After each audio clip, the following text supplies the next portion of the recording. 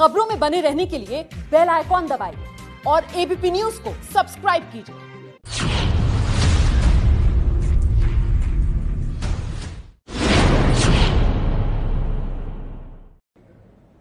सुबह के नौ बज चुके हैं, आप देख रहे हैं एबीपी न्यूज़ और मैं हूँ कुमकुम बिनवाल। सोलहवीं लोकसभा के सत्र का आज आखिरी दिन है। अप्रैल, मई में लोकसभा चुनाव होने हैं और उससे पहले संसद में बजट सत्र में आज आखिरी दिन कामकाजी दिन होगा। पिछले पाँच सालों में संसद में कई अहम वाक्य हुए। इस दौरान कौन से मुद्दे संसद में छाए रहे, कौन से बयान चर्चित हुए और कौन सी हस्तियों ने सुर्खियाँ बटोरी। इन सभी लम्हों को समेटे हमारा ये शो देखिए, सोलहवीं लोकसभा की सोलह कहानियाँ।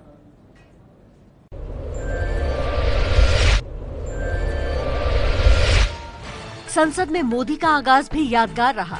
20 मई 2014 को बीजेपी संसदीय दल और सहयोगी दलों की बैठक में शामिल होने के लिए जब पीएम मोदी संसद पहुँचे तो उन्होंने संसद भवन की ज़मीन पर झुककर प्रणाम किया, जैसे श्रद्धालु पवित्र मंदिर में करते हैं। संसद भवन के इतिहास में उन्होंने ऐसा करके सभी सांसदों के लिए उदाहरण पेश किया। बैठक में नरेंद्र मोदी को सर्वसम्मति से बीजेपी और एनडीए का नेता चुना गया था।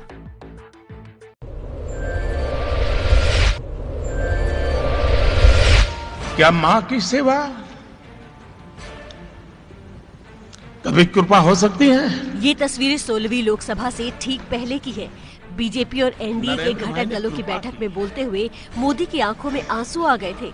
मोदी ने जीत का श्रेय बीजेपी कार्यकर्ताओं को दिया।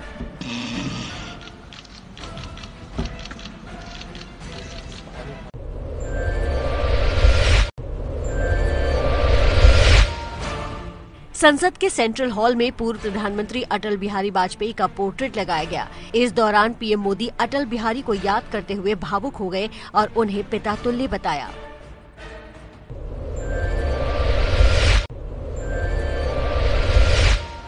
सोलहवीं लोकसभा का वो दृश्य लंबे समय तक याद रखा जाएगा, जब अविश्वास प्रस्ताव पर अपने भाषण के बाद कांग्रेस अध्यक्ष राहुल गांधी सदन में पीएम मोदी की सीट तक जा पहुँचे और फिर उन्हें उठने का इशारा किया। जब मोदी ने राहुल से वजह पूछी तो राहुल ने बिना कुछ बोले उन्हें गले लगा लिया। हालाँकि बाद में पीएम मोदी ने राहुल गांधी को पास बुलाकर उनकी पीठ थपथपाई।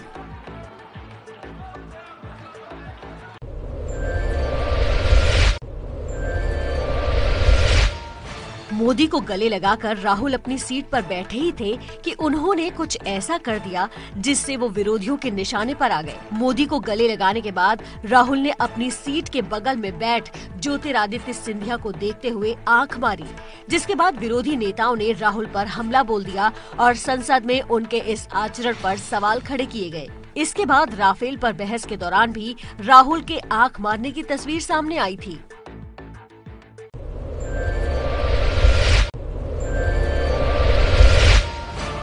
बहुमत से सत्ता में आई मोदी सरकार का दबदबा संसद में दिखाई दिया। यही वजह है कि पिछले साल जुलाई में मोदी सरकार के खिलाफ लाए गए अविश्वास प्रस्ताव पर विपक्ष को मुँह की खानी पड़ी। अविश्वास प्रस्ताव पर मत विभाजन में कुल चार सौ इक्यावन सदस्यों ने हिस्सा लिया, जिसमें अविश्वास प्रस्ताव के पक्ष में 126 जबकि विरोध में 325 वोट पड़े। टीडीपी ने आंध्र को विशेष राज्य का दर्जा देने की मांग को लेकर एनडीए से अलग होने के बाद ये अविश्वास प्रस्ताव पेश किया था।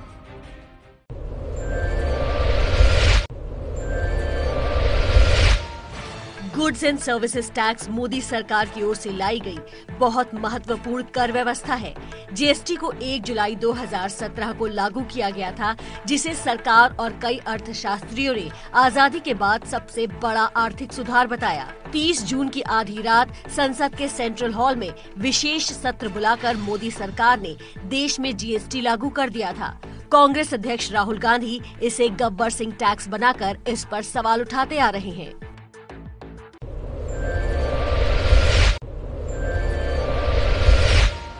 तीन तलाक का मुद्दा भी सोलहवीं लोकसभा में छाया रहा। अगस्त 2017 में सुप्रीम कोर्ट के आदेश के बाद मोदी सरकार ने तीन तलाक के खिलाफ कानून बनाने का ऐलान किया।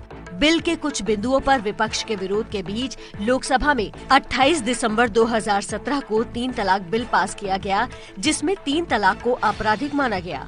हालाँकि विपक्ष के विरोध के चलते अब तक राज्यसभा से ये बिल पास नहीं हो सका है।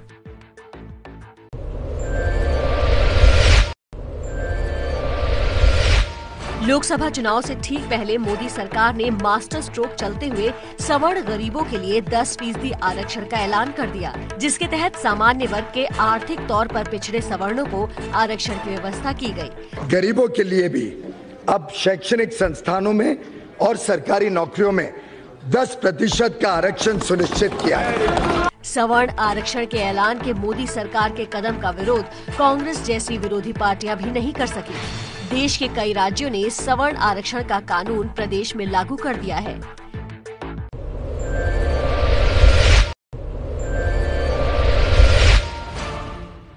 मोदी सरकार पर कई बार विपक्षी पार्टियों ने सांप्रदायिकता के आरोप लगाए। जिसका जवाब देते हुए मोदी ने लोकसभा में कहा कि मेरी सरकार का एक ही धर्म है, भारत सबसे पहले। मोदी ने संसद में कहा कि किसी को भी धर्म के आधार पर भेदभाव करने या कानून को अपने हाथ में लेने का अधिकार नहीं है। देश संविधान के दायरे में चलेगा और ये मेरी ज़िम्मेदारी है कि सरकार किस तरह से चले। संप्रदाय के आधार पर किसी के साथ डिस्क्रिमिनेशन करने का अधिकार नहीं होता है। मेरी सरकार का, मेरी सरकार का एक ही धर्म है। मेरी सरकार का एक ही धर्म है इंडिया फ़र्स्ट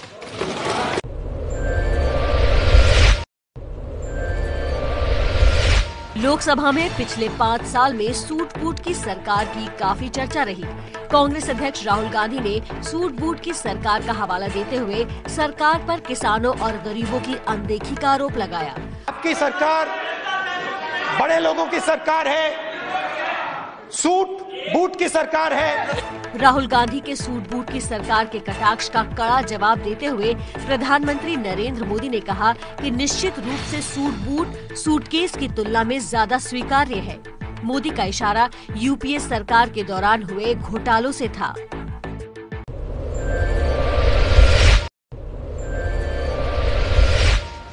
फरवरी 2018 में राज्यसभा में पीएम मोदी के भाषण के दौरान कांग्रेस सांसद रेणुका चौधरी की हँसी पर भी भारी विवाद हुआ था। मोदी के भाषण के दौरान रेणुका चौधरी ज़ोर ज़ोर से हंसने लगी थी। वेंकैया नायडू रेणुका चौधरी को बीच में टोक ही रहे थे कि मुस्कुराते हुए मोदी ने कहा कि सभापति जी रेणुका जी को आप कुछ मत कहिए। रामायण सीरियल के बाद सभी को ऐसी हँसी सुनने का आज सौभाग्य मिला है। प्रधानमंत्री जी वन मिनट प्रधानमंत्री जी एक, minute Now I would like to tell everyone you know, what happened to you. Now if you have some problem, go to the doctor please. सभापति जी मेरी आपको प्रार्थना है रेणुका जी को कुछ मत कीजिए रामायण सीरियल के बाद ऐसी हँसी सुनने का आज सौभाग्य मिला है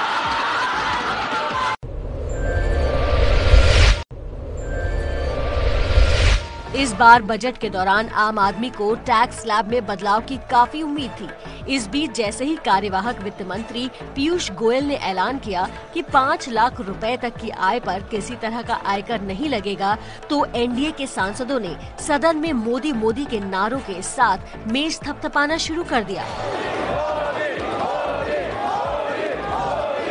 काफ़ी देर तक सदन में मोदी मोदी के नारे का शोर गूंजता रहा। बता दें कि इससे पहले टैक्स स्लैब ढाई लाख रुपए तक का था।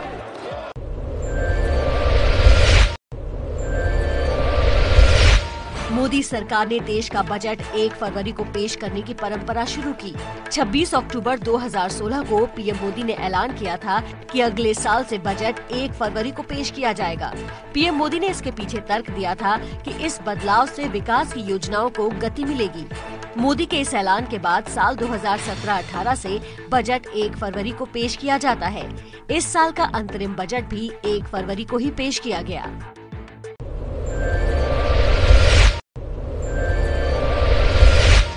ऐसी गलती नहीं कर सकता। लोकसभा में अपने भाषण में प्रधानमंत्री नरेंद्र मोदी ने यूपीए सरकार की शुरू की गई मनरेगा योजना पर सवाल उठाए थे। लोगों को गड्ढे खोदने के लिए भेजना पड़ा। उन्होंने ये कहा था कि इसे कांग्रेस के स्मारक के रूप में याद किया जाएगा और वो उसे गाजे बाजे के साथ बचा कर रखेंगे हालाँकि अब सरकार ने इसी योजना के लिए सबसे ज़्यादा बजट आवंटित किया है।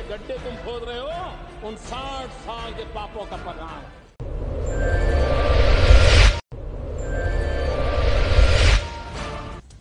मोदी सरकार के राज में सोलहवीं लोकसभा कामकाज के मामले में बहुत आगे रही। मई 2014 से शुरू हुई लोकसभा में 8 जनवरी 2019 तक 16 सत्रों में 321 बैठकें हुई। इस दौरान लोकसभा में 216 बिल लाए गए, जिनमें से 200 बिल पास भी हुए। सोलहवीं लोकसभा में चर्चा के दौरान सांसदों ने सतहत्तर हज़ार तीन सौ पैंसठ प्रश्न पूछे। जीएसटी, राफेल और तीन तलाक जैसे अहम मुद्दों पर विपक्ष ने सरकार को कई बार घेरा, जिसकी वजह से लोकसभा में कई बार कार्यवाही रोकनी भी पड़ी। औसतन सत्तर दिनों तक लोकसभा की कार्यवाही स्थगित करनी पड़ी।